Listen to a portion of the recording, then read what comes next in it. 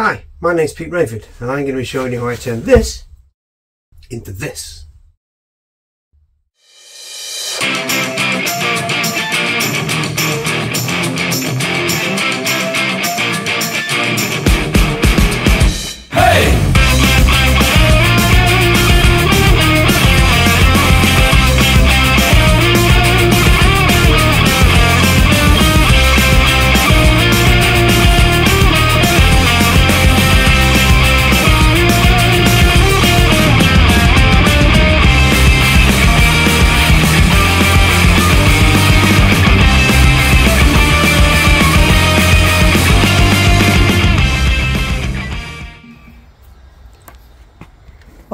So here's the back gate into the garden, and here's my 16 feet by 5 feet shed that I built last year. And you can probably see my observatory in the background there. Yes, I'm amateur astronomer. Um, so, in we go.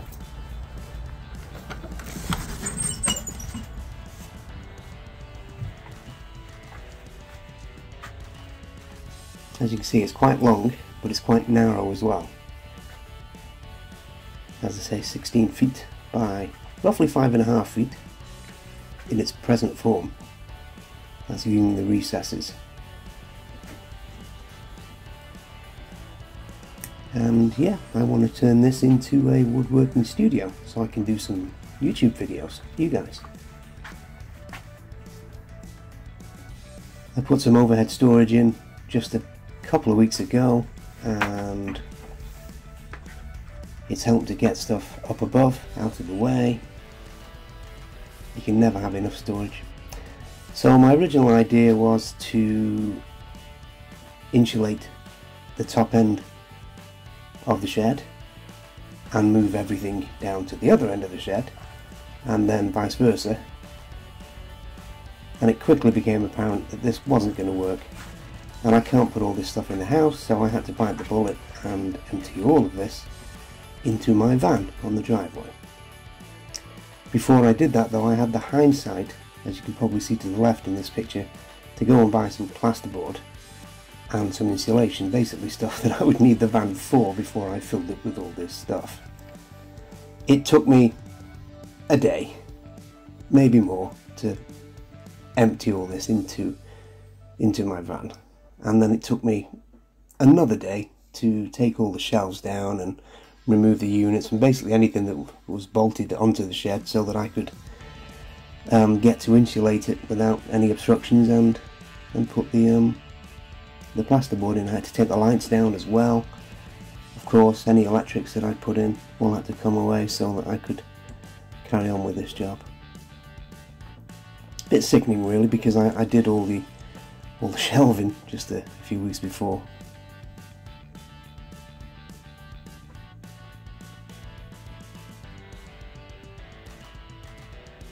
So I scoured Marketplace for um, some cheap insulation um, and plasterboard, but as soon as these things come on, they're snapped up pretty quickly. Uh, I ended up getting some 50mm um, Acousti-Wall uh, insulation for stud walls, which um, obviously helps to uh, dampen sound. And I got some 100mm for the roof because the timbers in the roof are 3 inch, so they, will compact to, to 75mm no problem.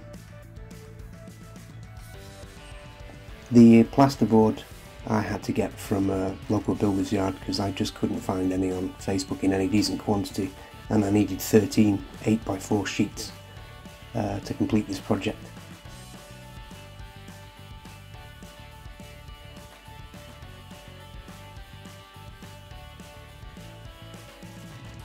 Total cost was around 200 220 pounds roughly.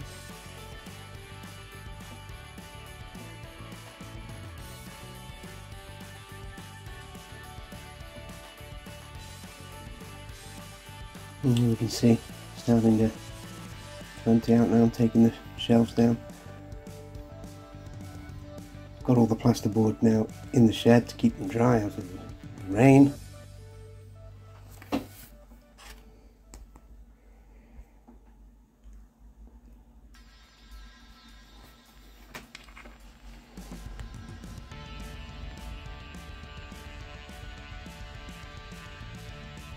Down come the lights. Come the cross beams that were supporting most of the shelving.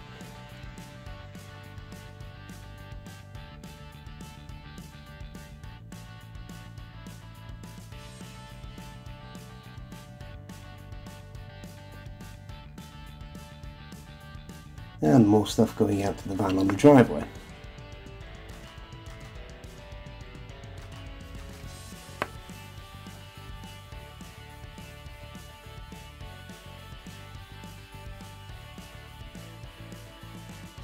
All the shelving down now.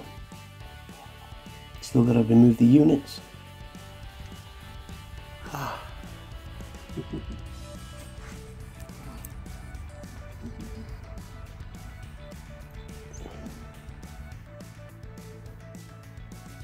Let's say 100 millimeter in the roof. Really coming along now.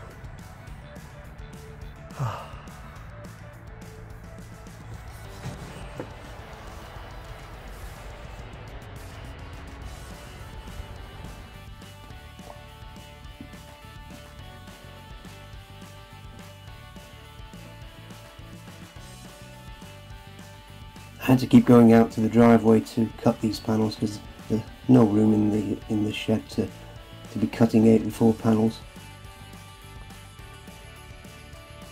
I'm just finishing off the ceiling and back onto the sidewalls.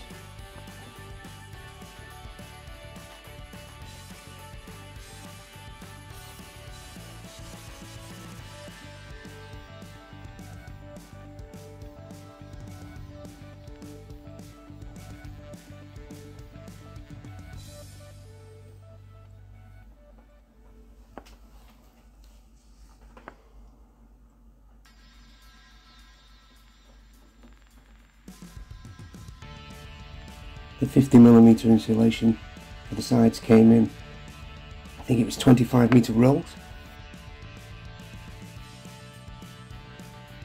and they cost me 30 pounds a roll so I spent 60 pounds on those. The roll of insulation I bought for the roof only cost me a tenner. So 70 pounds on insulation. And then I think the plasterboard was around 13 pounds a sheet which I bought 13 of.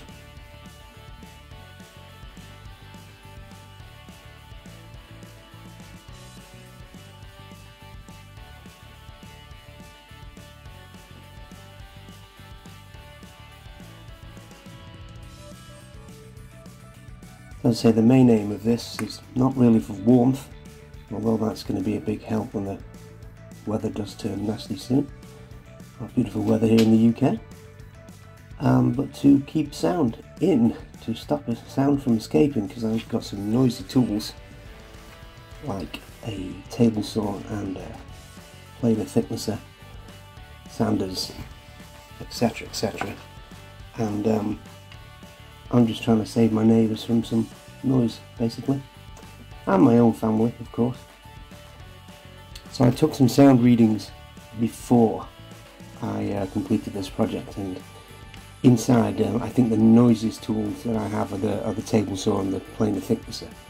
Um, the table saw was registering around I think it was 95 decibels on a, an app I downloaded off the Google Play Store onto my phone and the planer thicknesser I think was 115 so I took readings with uh, both of those machines, as I say, inside and then walked round the shed with the door shut, um, both in the alleyway to the side of the house and outside the windows, down the bottom end of my driveway, down the bottom end of the garden, and took readings uh, with and without the machine running.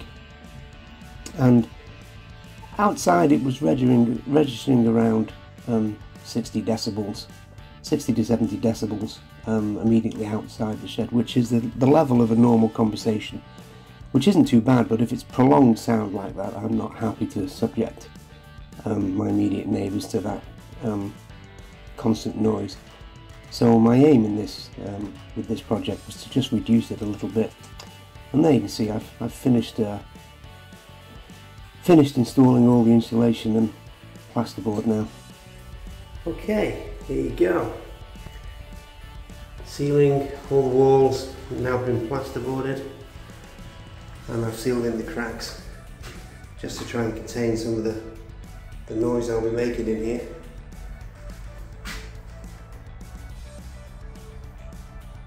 It's taken a while, but I think the end result is good because I can hear my voice echoing, which has to mean there's some soundproofing in here. It's preventing some sound from getting out. So the proof will be in the pudding when I plug some of the tools in later today, hopefully, and,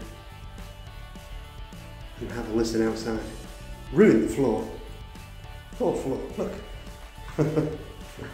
At this point I'm thinking, I hope this works, else it's a big waste of money.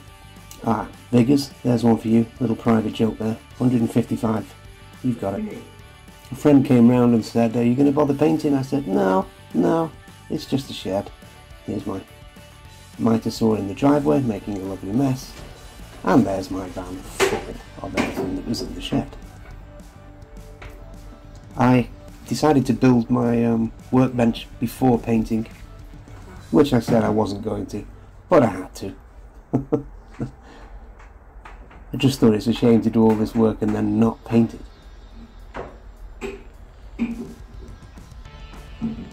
Not sure what drove me to paint it blue.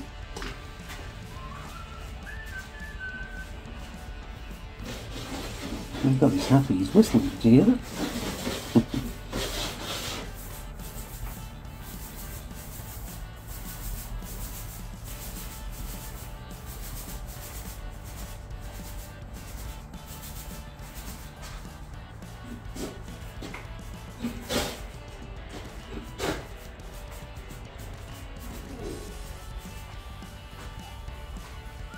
I filled in all the cracks between the plasterboard with just tile grout because it's I've always found that a, a, cheap way of doing things. Cheap and easy way because it's ready mixed and it's oh it's 10 pounds for a big 5 kilo uh, tub. So I just uh, used a spatula in that and just uh, filled in all the gaps because I don't want any sound escaping. I also did all the way around the windows as well with some sealant and then went over the sealant and boxed it in with some uh, grout as well.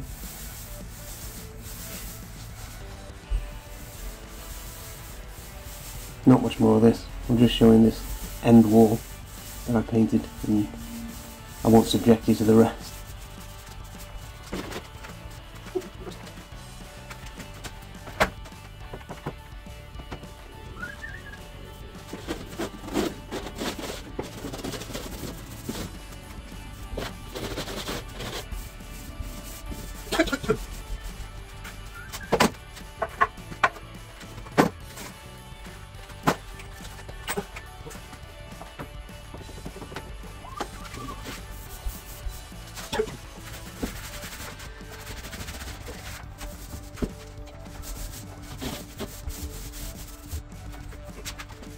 Okay, that's all the supports in for the shelves. I have had enough today. So at this point I realised uh, I'd missed a, just one piece of the support framework for the shelf, which I did the following morning in this next clip you'll see. Ta-da! this is the end result which you'll see in uh, a lot of my videos. I quite often have this camera angle because that's where the bulk of my tools are up on the wall there and um, it's just the, the best angle in the shed to, to film from. So yeah, I painted all in blue. Um, I did some measurements on on the uh, decibels app that I have on my phone and found that when the planer thicknesser was running um, immediately outside the door and the windows I'd, I'd managed to uh, drop the noise level by around 10 decibels, but round the sides and the back of the shed where the windows aren't and the, the door isn't there, um, the sound was reduced significantly down uh, a full 20 decibels. So I was really happy with the end results, and that's mainly just for insulating with um, 50 millimeter insulation in the, the 2 inch stud walls and and 4 inch insulation in the in the roof. So the, the normal levels outside on a normal day, on a quiet day, are around 30 decibels and I'd managed um, managed to reduce all the sound down to 50 decibels. So it's only slightly higher and it really is, it's not noticeable at all. So very happy. And it enables me to now do some woodworking in here and record videos, um, you know, largely unmolested and I'm very happy with the end results. So, thanks for watching. Sorry it's a bit long and uh, it drags out in places, um, but it's uh, it's it's how I managed to do this. Um, I lost my father last year, and I've always wanted to do some YouTube work from home, and this seemed like the logical step to do it. Um, it was uh, losing my father that gave me a bit of a kick to, to get things done in life that you want to do hence this undertaking. Anyway, thanks for watching. See you in the next video.